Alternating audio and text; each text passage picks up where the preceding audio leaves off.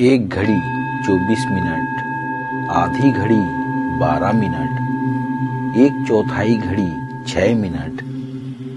क्या ऐसा हो सकता है कि सिर्फ़ छह मिनट में किसी साधन से करोड़ों विकार दूर हो सकते हैं?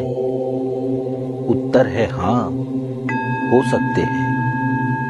वैज्ञानिक सोच से पता चला है कि सिर्फ़ छह मिनट ओम का उच्चारण करने से सैकड़ों रोग ठीक हो जाते हैं, जो दवा से भी इतनी जल्दी ठीक नहीं होते।